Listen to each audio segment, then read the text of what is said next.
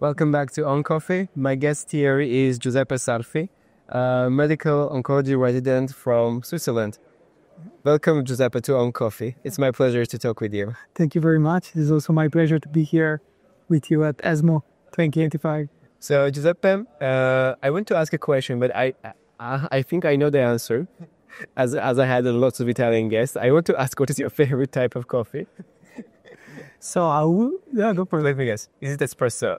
So I, I would say I'm a very different type of Italian because I really like iced lattes. I think you won't get it from any other Italian. Yes, like all of them says straight espresso. There is no other choice. So I, I hope they won't uh, cancel you before your choice.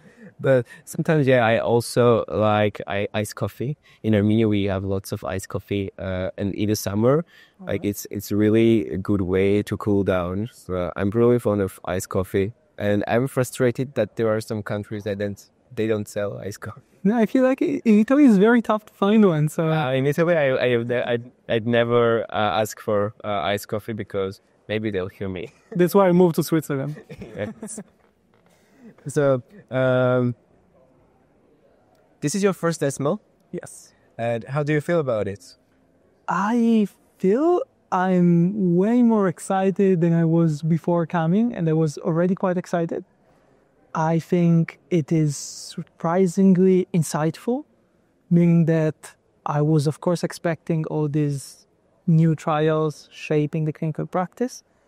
I was not expecting, probably it was to be expected, but I didn't know that there were all these educational sessions that not only tell you things that as a medical oncologist you should know, but they go very much in depth of single details of some areas of your cancer focus. And they really dig up some little unknown papers and put them together to really give you a new perspective on things. And I think that's the most interesting part I found of this.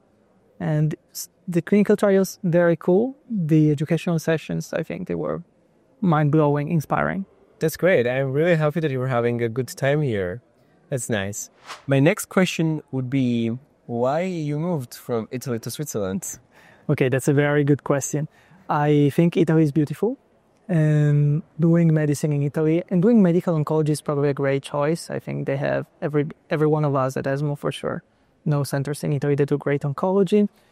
Uh, there's multiple reasons. I think sometimes every one of us wants to maybe experience a new country. Sure, Switzerland is very close. On the other side, the oncology residents in Switzerland have a very good connection with preclinical research. So they convinced me with this PhD, 50% PhD, 50% residency program, which I think it's a you can find that in some European countries and in Switzerland too. And they have good research programs and they do great prostate cancer in doing so. And so That's great. But I guess it would be really, really hard to do PhD and residency together. How do you manage to do that? So, in relation to this question, I would want to say that another great event we had they had at ESMO is this young oncology events, and which is also a good way to relate with people our age and to ask them these kind of questions. I realized that in many different countries, there's different ways to get into preclinical and translational research during your residency, and I agree there's multiple struggles, and sometimes I was advised, for example, from my professor, to start with a couple years of full time clinical work to become a good doctor and also maybe get some new questions for research and then get into research.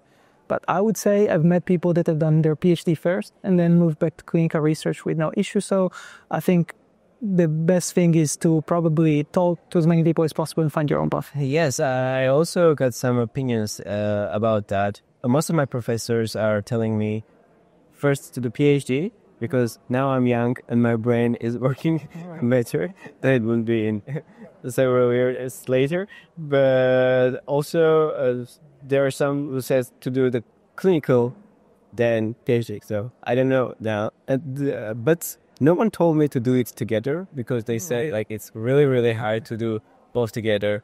So uh, I don't know yet. Well, I think there's no right answer, but each one of us probably has one of these three options as is preferable. yeah. So uh, I hope I'm gonna try and see uh, what is the best option. If you need the insight, you can come to us or Young Oncologists in here. They are Uh, that's right. And my last question would be what advice would you give to medical students uh, who want to become an oncologist? That is a very good question. The first answer I would give is to go into the oncology ward and to go see patients in the outpatient facilities, preferably on their own with one doctor so they have the most exposure possible. And I think the first thing you need people probably a lot of people that I met in the oncology residency, they at the beginning have not fully understand how outpatient oncology actually is. Mm-hmm. So they struggle a bit with the fact that there's a lot of like planned activity and there's not a lot of rush a lot of times.